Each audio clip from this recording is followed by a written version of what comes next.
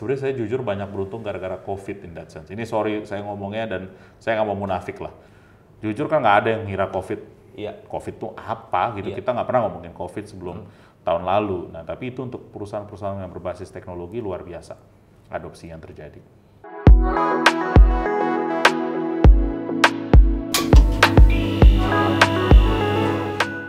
Halo business people, apa kabar? Udah lama nih nggak ketemu.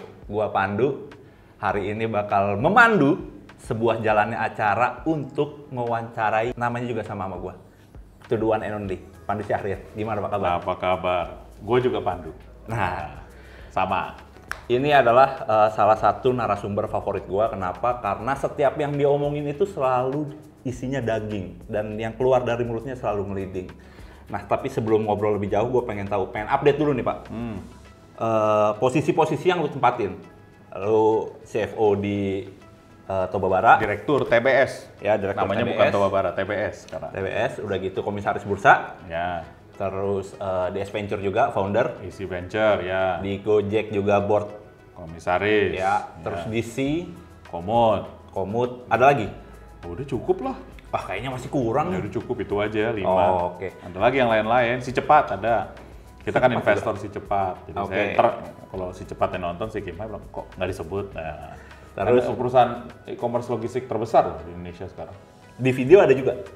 Nah itu kan bagian dari MTech. Saya komisaris di MTech. Uh, banyak juga ternyata Komisaris independen. Nah, gue pengen tahu nih, gimana caranya lu ngebagi? Ini lu punya tujuh posisi yang berbeda, otomatis kan tujuh kewajiban juga dan hampir rata-rata eh, desk jobnya juga berbeda kan. Nah, itu lu ngebagi waktunya dalam satu hari gimana? Apakah satu satu kewajiban itu satu jam atau Enggak dong. Gimana? Kita bagi waktu prioritas diri sendiri. Paling nggak ada Oke. Hmm. waktu buat diri sendiri, olahraga, ngopi, baca buku, Oke. ya kan, relax. Waktu buat keluarga, ya Hmm. kan saya udah punya eh, misalnya keluarga, istri, anak, saya Yes. Hmm. fokusin.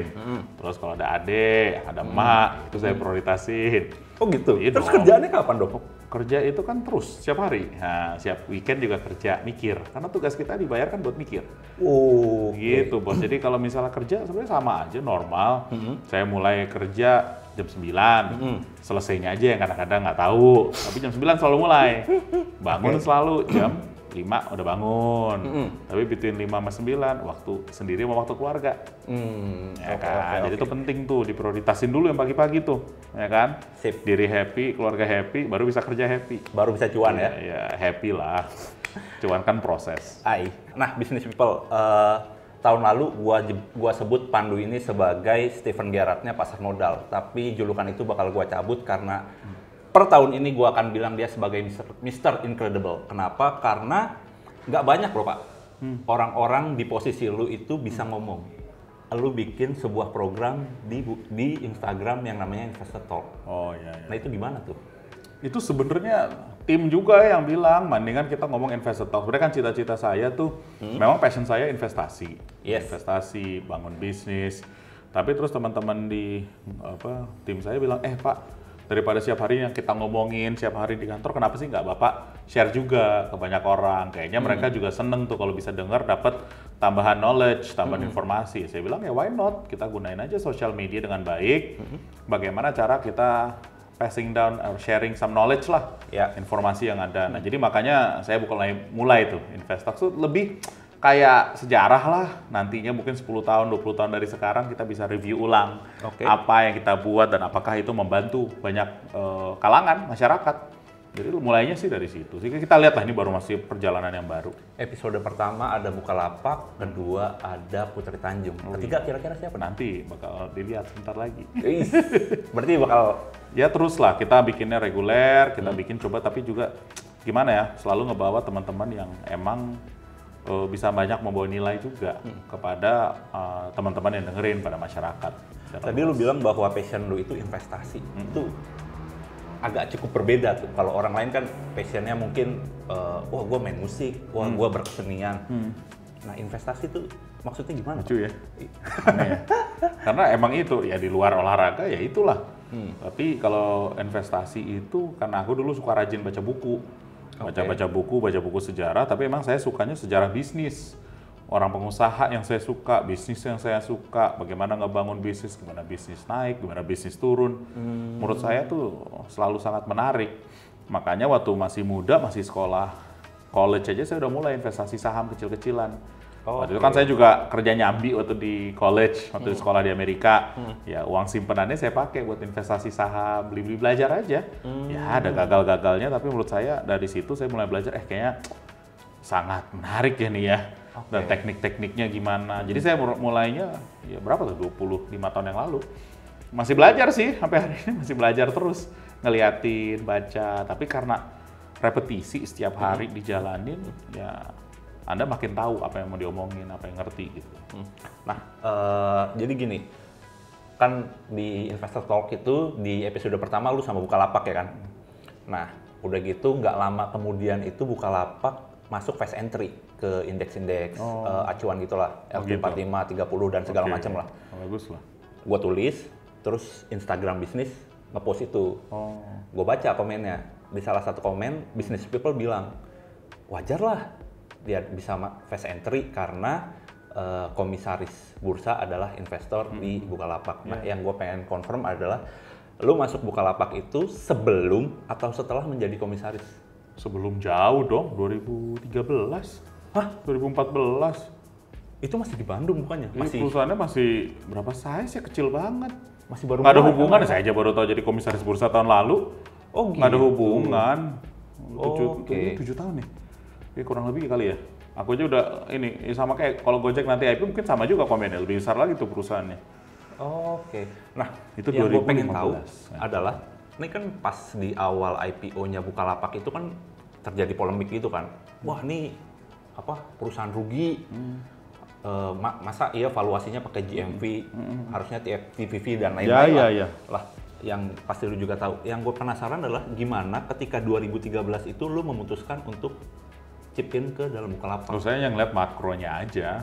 Oke. Makronya saya rasa make sense. Udah bahwa e-commerce akan mulai di mana-mana teknologi baru mulai biasanya dimulainya dengan e-commerce. Habis e-commerce nanti ada payment. Habis itu biasanya baru ada nanti ride sharing atau apa. Di Indonesia gara-gara mungkin karena masih baru ya, Iya. udah belajar di kota-kota apa dunia apa negara-negara besar lainnya, yang mereka mulai e-commerce dulu. Jadi gitu sih sebenarnya ceritanya. Eh, ya saya, saya saya ngeliatnya lebih makronya sih. Terus saya tahu foundersnya ketemu sama Zaki sama Fajrin. Iya. Ya dulu ya bilang "Ah, gimana bro mau bikinnya gimana? Bilang ceritanya gini gini gini. Ya lucu juga. Yuk yuk kita coba. Gitu. Oh gitu. Tapi waktu itu lu sebagai investor personal. Investor atau- personal aja, saya mah nggak kecil-kecilan, sebang ya perusahaan juga kecil kan, kita Iya. juga itu namanya ya makronya pas, kedua founders itu juga kerjanya gigih, dan ya tentu ada elemen untung lah, hoki lah bahasa saya, ya itu jadi salah satu perusahaan yang jadi. Nah di luar eh, Bukalapak kan lu juga investor di GoPay dan juga tadi lu Go, bilang go- apa namanya? di Gojek, Gojek namanya. dan Gojek. juga eh, tadi lu bilang secepat gitu. Nah gue pengen tahu gimana sih eh, seorang Pandu Syahrid itu menentukan sebuah investasi di perusahaan teknologi. gitu. Sebenarnya strukturnya banyak ya, karena makanya tim kita banyak. Sebenarnya kalau ngeliat tim investasi kita tuh sekarang udah hampir 35 orang.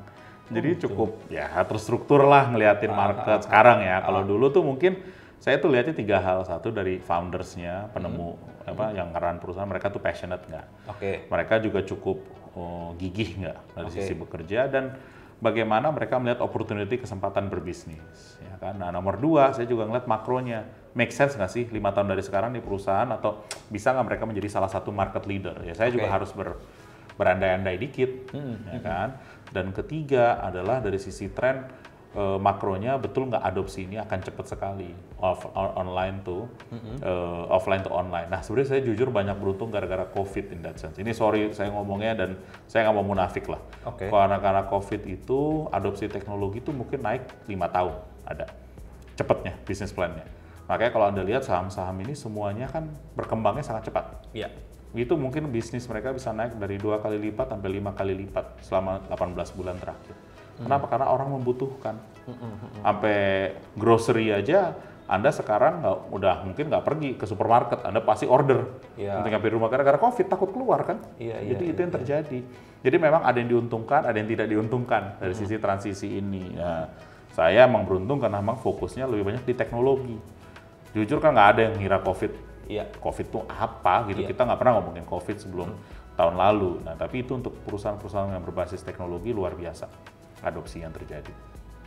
Berarti lu sama sekali nggak pakai valuasi-valuasi konvensional ya? Pakai valuasi konvensional pasti ada sebagai referensi, tapi saya ngelihatnya lebih ke luar negeri karena pada saat itu nggak ada marketnya di sini. Iya. Anda mau lihat apa uh, enterprise value to GMV, price to sales. Kalau Yes. e-commerce 3-4 tahun pertama nggak ada sales, take rate-nya nol. Mereka membeli customer, making sure customer mau berdagang melakukan online trading. Lima tahun yang lalu mungkin Mas Pandu juga mungkin nggak beli barang dari Tokopedia, bisa bilang ya udah lo kirim baru gue bayar Iya. cash on delivery. Sekarang yuk percaya, pakai ya udah aku bayar dulu, nanti barangnya pasti diterima. Tapi kan as one of the investor, lu pasti pengen yang namanya dividen gitu. Sementara, oh enggak? Enggak, beda. Oke, terus Jadi gimana kalau saya mungkin karena ya masih muda, Oke. saya sangat mikir growth. Growth-nya ada nggak? Besar nggak kemungkinan potensi pasarnya? Bisa nggak perusahaan ini 10 kali lipat dari hari ini kalau saya investasi? Oke. Nah, tergantungnya. Makanya memang kalau saya berinvestasi di bisnis Ventura, saya selalu melihat saya bisa nggak make 10 kali lipat setiap kali invest. 5 tahun, 7 tahun dari sekarang. Jadi saya harus make sure Wow. yang kayak saya tadi bilang, makro saya benar, foundersnya benar, habis itu dari sisi ketiga mereka punya apa, track record untuk bisa melakukan eksekusi. Oh. Harus begitu, kalau enggak, ya saya di, kita kan secara profesional emang itu tugas kita sehari-hari. Harus bisa mikir ke depan. Berarti Pasti ada risk ya, saya nggak bilang Iya. semuanya bakal jadi sukses, Iya, enggak. iya, iya. Saya mungkin ya per hari ini alhamdulillah per hari ini belum ada satu really satu mungkin ada satu dua company yang gagal.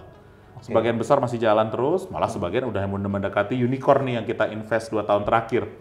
Jadi kita juga banyak beruntung kayak siapa si Stockbit itu Iya. kan tambah besar sekarang ya kan apa yang punya bibit itu kan bibit Stockbit Aruna sekarang juga udah tambah besar barusan diinvest sama perusahaan Singapura besar Terus ada Ula, Ula Iya. kan itu banyak sekali tuh informasi sampai katanya ya emang betul keluarga uh, family office-nya Jeff Bezos masuk, Iya. foundernya Amazon. Ya jadi kita banyak sekarang perusahaan-perusahaan yang sekarang mulai mendekati unicorn-unicorn baru.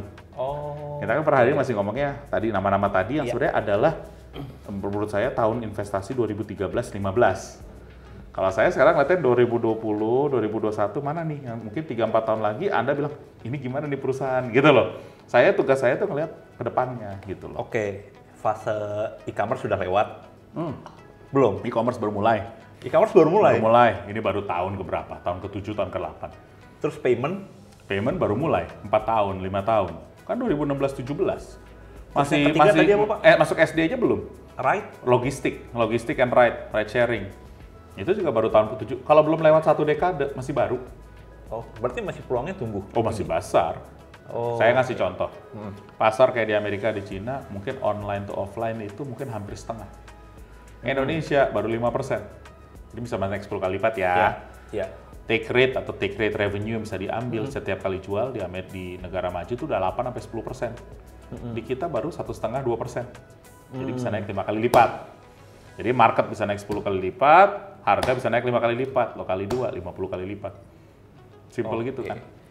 Ngomongin harga nih, ini banyak bisnis people yang ketika melihat eh, harga Bukalapak yang bearish belakangan ini sebulan lah. Oh itu saya nggak bisa komen soal saham, saham lah, Iya. technical. Maksud gua kan Yuan, eh, lu satu dari investor juga kan. Ya, nah ketika ngeliat itu, lu gimana? Semakin turun ya semakin pengen beli lah. Gitu. Kalau orang tapi ya saya nggak berani ngomong gitu. Perusahaan TBK saya komisaris bursa nanti dibilangnya Oh, oke. konflik lah, apalah. Tapi ya sebagai investor, kalau anda percaya tiga awal, bahasa saya orang kasih anda diskon, kenapa nggak anda beli? Hmm, Ya beli kopi. Kalau besok misalnya kopi Starbucks didiskonin 25%, pasti anda beli. Tapi sekali anda minum, hasilnya nol, hanya happiness anda. Yeah, utility value. Tapi kalau saham, turun 25% malah anda takut. Yeah. kalau saya malah beli, kalau misalnya fundamentalnya masih ada, foundersnya masih bagus, itu menurut saya itu namanya technical aja. Market menurut saya selalu imperfect in that Iya. sense. Iya. Kalau market perfect, how can people, investor make money? Ya kan? Nah kan kalau misalnya kita ngeliat sekarang di IDX Tekno itu, sektor teknologi khususnya isinya cuma dipenuhi oleh salah satu grup aja, grup MCAS. Hmm. Nah, kalau lu ngeliatnya gimana nih? Apakah akan ada lebih banyak Bakal. perusahaan? Menurut saya itu bagus. Nantinya ke depannya saya rasa akan makin banyak perusahaan-perusahaan baru yang masuk. Dan semakin market cap eh, ID Tekno itu makin besar, itu juga makin bagus. Karena memang komposisi teknologi kepada ekonomi kita tuh makin besar. Jadi Anda harus lihatnya ke sana di mana eh, IDX itu harus bisa mimik ekonomi yang sesungguhnya. Jadi memang salah satunya kita harus push untuk perusahaan-perusahaan teknologi yang besar untuk bisa masuk. Cuma kan kalau ngeliat sekarang eh, apa perusahaan-perusahaan yang ada di IDX Techno itu perusahaannya bergeraknya di satu bidang aja, maksudnya kayak e-commerce, terus ada Tapi itu lumrah lah karena masih baru. Oke. Tapi kan ini jangan lupa kita kemudian kadang-kadang nggak sabaran. It takes 5-6 tahun lah ini untuk bisa nanti indeksnya itu memiliki semacam maturity. Tadi aja saya bilang teknologi belum ada satu dekade. Masih SD. Kalau kalau seorang anak ya masih SD, belum masuk SMP. Masih baru mulai. Untuk perusahaan-perusahaan teknologi masuk aja mungkin baru 3-4 tahun terakhir. Belum masuk SD. Lebih mudah lagi tuh. Jadi sabar aja. Tapi saya cukup yakin kalau misalnya Anda berinvestasi membeli indeks, ya meremin aja. 10 tahun dari sekarang ya mungkin udah masuk SMA. Insya Allah Oke. ya kalau udah SMA bakal lebih besar lagi gitu loh. Iya iya iya iya iya. Kan beda kalau Anda lihat yang tekno sekarang, perusahaan-perusahaan yang listed mungkin listednya tahun 90-an. Iya. 95, 98, 2000 itu udah lewat universitas. Nah, growth-nya udah beda, tingginya pun udah beda. Maksudnya ya tingginya mungkin nggak nambah tinggi banget lah, tapi udah mature gitu. Kalau ini kan bener-bener anak SD sama anak SMA kan jauh tingginya, ya kan? Jauh lebih beda dari sisi maturity-nya, dari sisi besar badannya, dari semua lah. Nah perusahaan-perusahaan teknologi yang berpeluang untuk masuk tuh apa sih pak? Ya kan tadi banyak lah, bakal banyak menurut saya. Jadi semua yang berban- berbasis e-commerce akan masuk, berbasis eh, payment, fintech payment, logistik, itu saya rasa semua akan masuk. Gojek dong pak. Kan udah banyak yang disebut ya, kita lihat lah. Sebentar lagi lah insya Allah. Tahun ini, tahun depan? Saya rasa tahun depan. Oh, oke. Nah, itu kan kemarin habis balik dari Abu Dhabi, Pak.